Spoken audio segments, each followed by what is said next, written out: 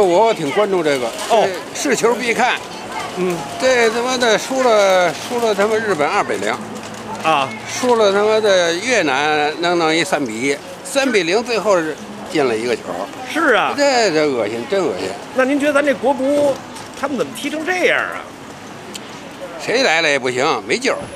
哦，谁来了？不是说请教练的事儿哎呦，那就是让那个我那儿子发了一个，啊。说这个这个西班牙那教练说要上上上上这儿来，这中国队谁来也不行。哎呦，那这是啊，而且怎么会输给越南呢？让人感觉有点不可思议啊、就是那软柿子想捏人家，让人家给让人给退了，这这玩意儿。那您看这怎么去？他有什么改进的吗？需要？咱们出不了这主意钱不少拿，啊这他妈的运动员钱不少拿，都挣高工资换教练也不行，是吧？啊？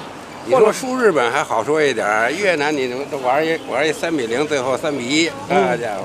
这不是那谁范志毅说了吗？说先输越南，然后再输泰国对对对啊。对，来了你再输泰国，哎呦，那这个，那您看这事儿 怎么办？这个这谁来谁来也没办法，啊，谁来也没办法。那都说咱们这运动员没有敢敢打敢拼的精神。这这个这个这个这个，哎，走了，走是是好，谢谢您啊。